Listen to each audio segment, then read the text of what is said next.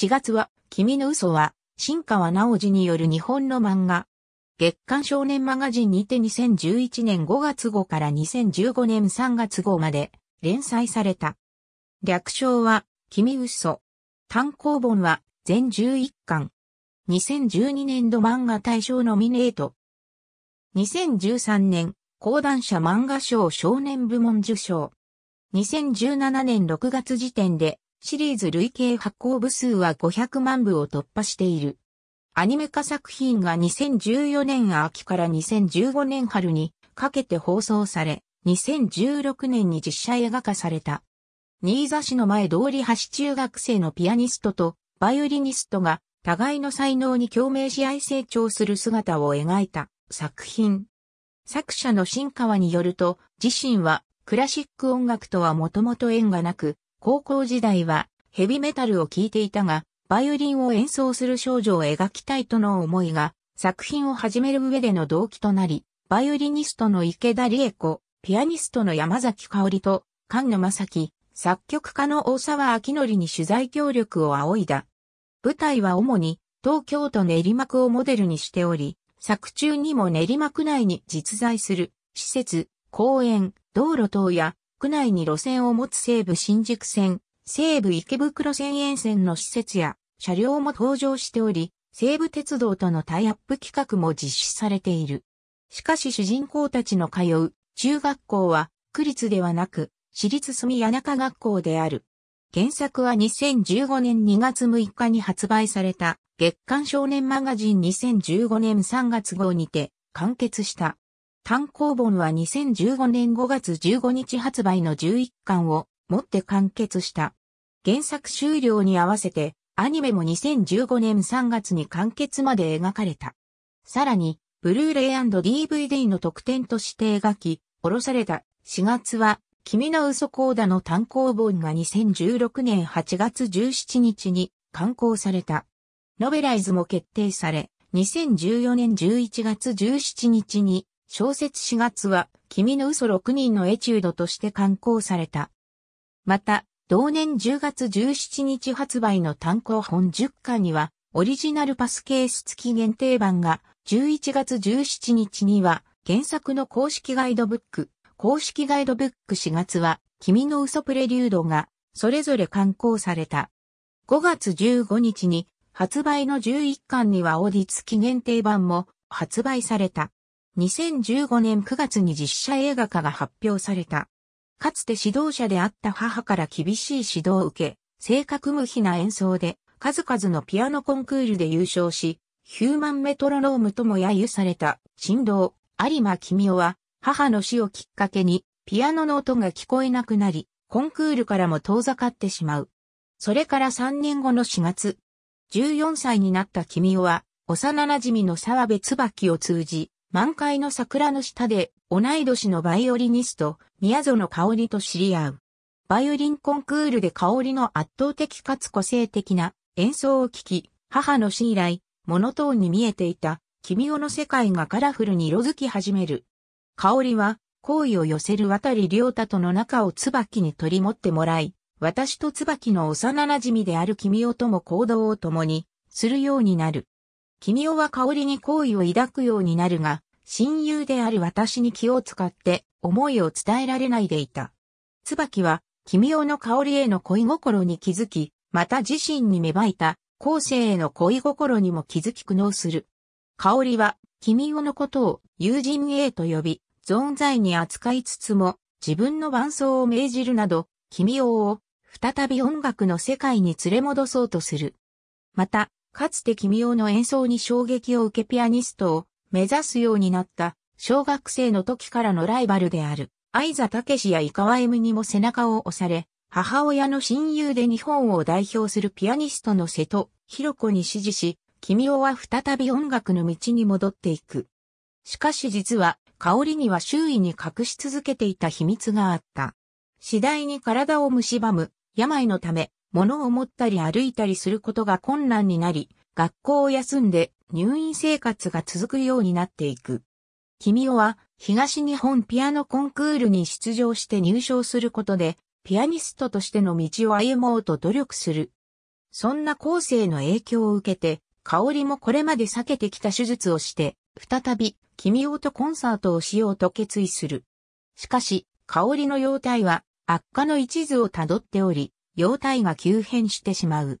君王は、かつての病弱な母親をイメージさせる少女に、再びトラウマが呼び起こされ、香りを失うことへの恐怖から、ピアノを弾くことができなくなり、半ば作品の総仕上げの練習ができないまま、コンクール本番を迎えることになってしまう。そして、コンクールの日が訪れる。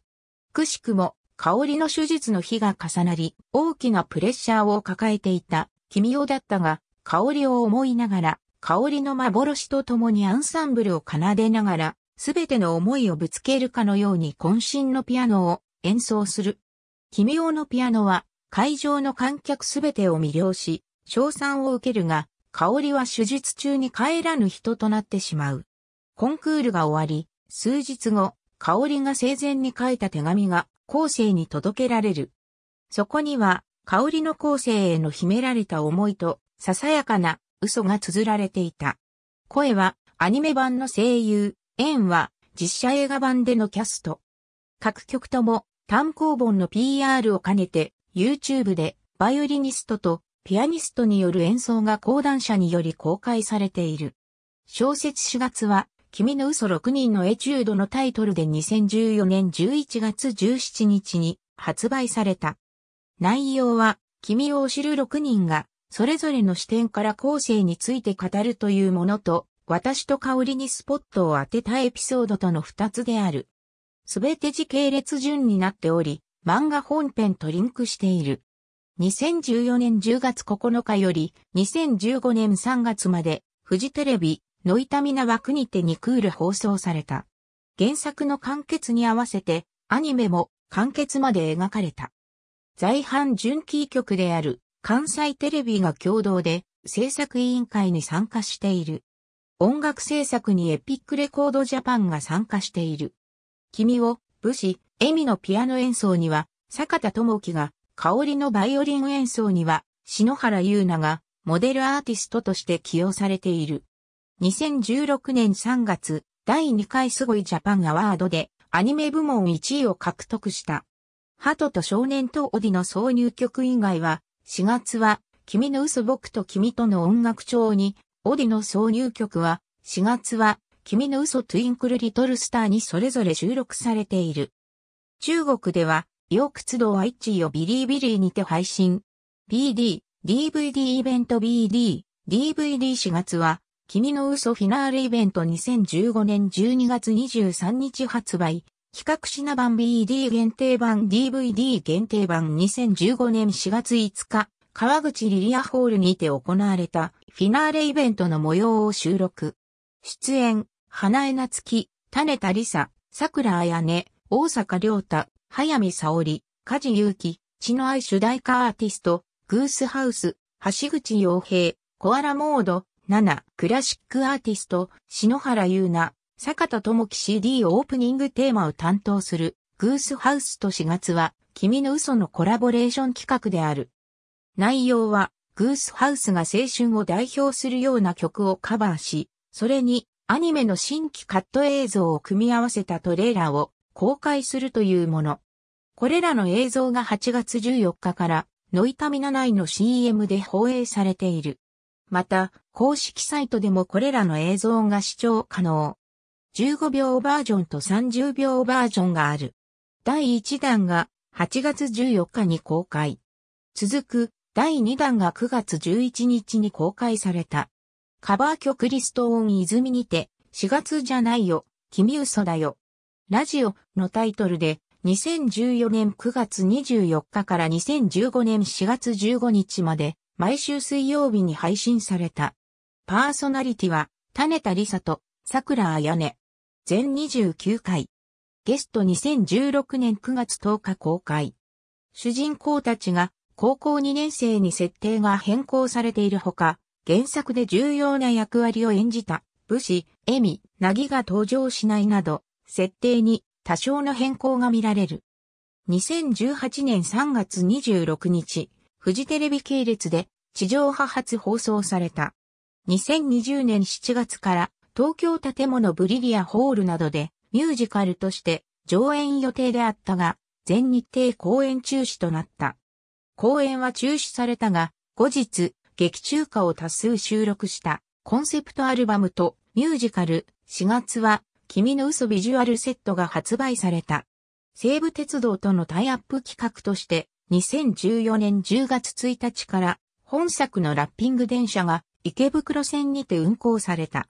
使用車両は3万計3万8112回。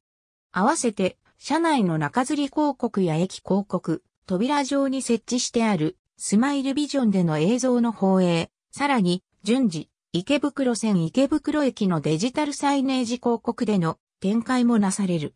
また、大泉学園駅のホームに設置されてある一部の自動販売機は本作のラッピングが施されている。作中には西武池袋線を走行する新2000系もしくは9000系がテレビアニメ第11話では3000系が登場している。練馬駅北口周辺で行われる練馬アニメカーニバル2014の一環として、4月は、君の嘘ステージが、練馬区立練馬文化センター小ホールにて行われた。なお、作中に登場する、東和ホールの外観は、練馬文化センターがモデルとなっている。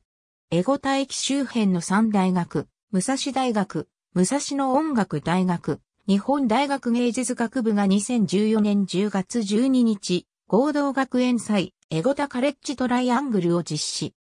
それに伴い、タイアップ企画として、アニメのキャストスタッフトークショー、ED 曲を歌うアッチのライブ、優秀作品は番組で紹介される特典のイラストコンテストなどを行い、地域に根付いたキャンペーンを展開した。2014年9月20日に、東京第一生命ホールにて行われた。内容は、アニメで使用されているクラシックの曲を演奏を担当したモデルアーティストによる演奏とゲストを迎えたトークコーナー等。4月は君の嘘を音楽面から楽しめる内容となっている。満員の盛況を受け、第2弾の開催が決定した。第2弾の公演では、東京に加えて、岩手、関西での公演も決定している。ありがとうございます。